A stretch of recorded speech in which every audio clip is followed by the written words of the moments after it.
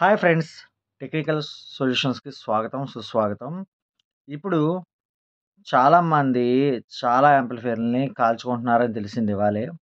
ఏంటంటే వాళ్ళ దగ్గర ఉన్న పాత స్పీకర్లు పనిచేస్తున్నాయో లేదో తెలియదు అలాగే షార్ట్ అయ్యేలేదో తెలియదు మీరు షార్ట్ అయ్యే స్పీకర్స్ మీ యాంప్లిఫైర్కి పెడితే ఖచ్చితంగా యాంప్లిఫైర్ ఐసీ కూడా కాలిపోద్ది.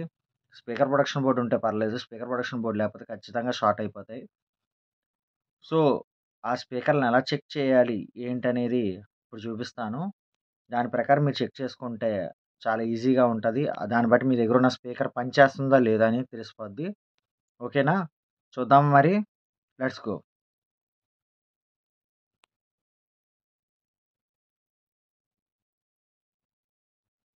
చూడండి.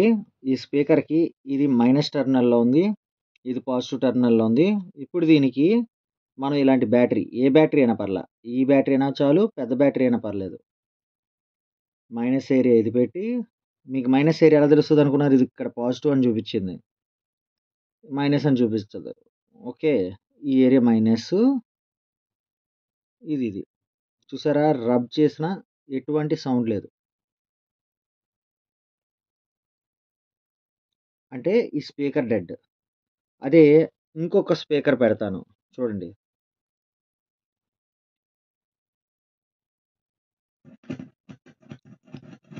వినబడుతుందా ఫ్రెండ్స్? ఇప్పుడు ఏం లేదా? ఇదిగోండి. ఇలాగా రబ్ చేసినప్పుడు సౌండ్ వస్తే అవి పనిచేస్తున్నట్టు ఓకేనా? మీకు అలా ఈజీగా స్పీకర్ ఎలా పనిచేస్తుంది ఏంటని తెలుసుకోవచ్చు. అలా తెలుసుకోలేని పక్షంలో అలా రాలేని పక్షంలో ఆ స్పీకర్ షార్ట్ అయిందని అర్థం. దాన్ని యాంప్లిఫైర్కి పెట్టకండి. అలాగే రన్నింగ్ యాంప్లిఫైయర్లో వెనకాల స్పీకర్ టెర్మినల్స్ యూట్యూబ్ ఛానల్లో చాలామంది యూట్యూబ్ ఛానల్లో చూసి కాపీ కొట్టి ఐసీలు కాల్చుకుంటున్నారు. అలా చేయకండి. టెక్నీషియన్స్ ట్రైన్డ్ పర్సన్స్ మాత్రం అలాంటి పనులు చేస్తారు. నేనైతే ఎప్పుడైనా సరే యాంప్లిఫైర్ స్పీకర్స్ మార్చాలన్నా వైర్ మార్చాలన్నా నేను యాంప్ ఆన్ చేసి మాత్రం చేయను. ఎందుకంటే దానిలో ఉన్న గ్రౌండ్ ఏదైనా టచ్ అయినా లోపల టెర్మినల్స్ టచ్ అయినా ఐసీ పోద్ది ఈ విషయాన్ని మీరు తెలుసుకోగలిగితే టెక్నీషియన్కి రూపాయి ఇవ్వాల్సిన అవసరం ఉండదు. ఓకేనా? మీ యాంప్లిఫైర్కి ఎటువంటి కేరింగ్ తీసుకోవాలి? ఏంటి? అనే పాయింట్స్ డిస్కస్ చేస్తున్నాను. ఏంటంటే ఫస్ట్ ఆఫ్ ఆల్ యాంప్లిఫైర్కి స్పీకర్ అన్ని స్పీకర్లు పనిచేస్తున్నాయి లేదా చెక్ చేసుకోవాలి. రెండోది యాంప్లిఫైర్కి రన్నింగ్ ఉన్న యాంప్లిఫైర్కి వెనకాల ఉన్న స్పీకర్ టర్మినల్స్ పెట్టి తీసి చేయకూడదు.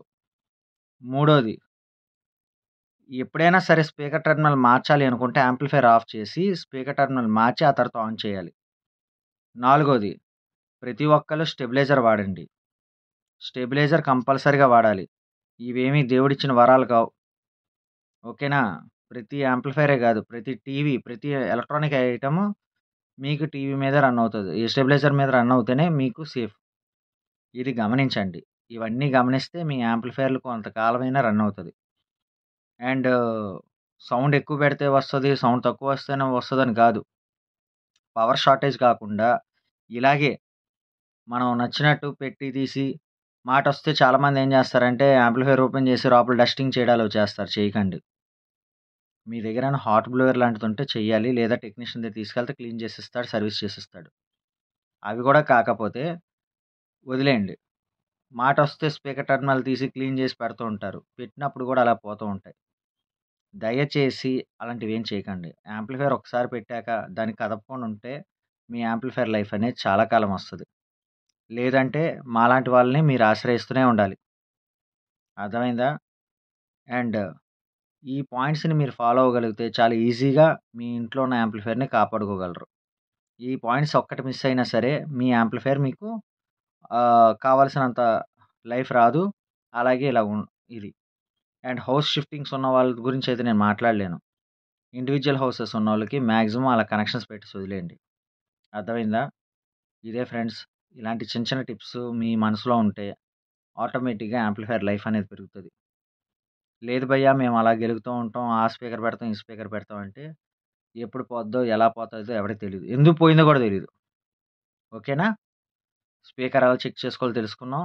స్పీకర్ టెర్మినల్స్ని ఆన్ చేసినప్పుడు స్పీకర్ వైర్లు తీసి పెట్టం అనేది తెలుసుకున్నాం ఆఫ్ చేసే స్పీకర్లు మార్చాలి అని తెలుసుకున్నాం స్టెబిలైజర్ వాడాలని తెలుసుకున్నాం. తర్వాత ఏవైనా సరే డస్టింగ్‌లు చేయకుండా, లోపల క్లీనింగ్‌లు చేయకుండా నీట్‌గా వదిలేద్దాం అనేది కూడా తెలుసుకున్నారు. ఇవి మనసులో పెట్టుకుంటే ఏ యాంప్లిఫైర్ అయినా సరే, ఎవరి దగ్గర చేయించుకున్న యాంప్లిఫైర్ అయినా అంత త్వరగా రిపేర్‌లు రావు. ఓకేనా ఫ్రెండ్స్? మీకు ఈ వీడియో నచ్చినట్లయితే please do watch, share and subscribe my YouTube channel.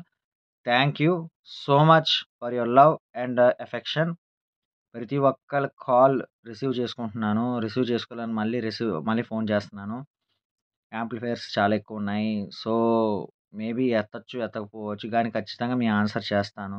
Late అయినా అవ్వచ్చు. ఖచ్చితంగా ఆన్సర్ చేస్తాను. ఆన్సర్ చేయలేనోళ్ళు ఎవరైనా ఉంటే నన్ను క్షమించండి. ఆన్సర్ చేసిన వాళ్ళందరికీ నా thanks for contacting me. And at the same time me messages కూడా రెస్పాండ్ అవుతున్నాను. మీరు మరీ ఫ్రీక్వెన్సీ అడిగేయకండి. అంటే ఇప్పుడు పెట్టిన వెంటనే మెసేజ్ అని అనుకోకండి. ఎందుకంటే నాకున్న ప్రాబ్లమ్స్ నాకున్నాయి. నేనున్న యాంప్లిఫైయర్‌లు నేను చేసుకోవాలి. ఇప్పుడు మీతో చాట్ చేస్తూ కూర్చుంటే యాంప్లిఫైయర్స్ అవ్వవు. అదే ఫ్రెండ్స్. ఓకేనా? Thank you. Stay tuned. కొత్త కొత్త అప్డేట్స్ వస్తూ ఉంటాను. ఏవైనా కొత్త రకమైన సమస్యలు లాంటివి ఏమైనా ఉంటే ఎలివేట్ చేయడానికి చూస్తాను వీడియోలో. దాన్ని చూసి నేర్చుకోండి. ఓకే. మీకు ఈ వీడియో నచ్చినట్టు నచ్చుద్దని నేను భావిస్తున్నాను. ఓకేనా? Thank you.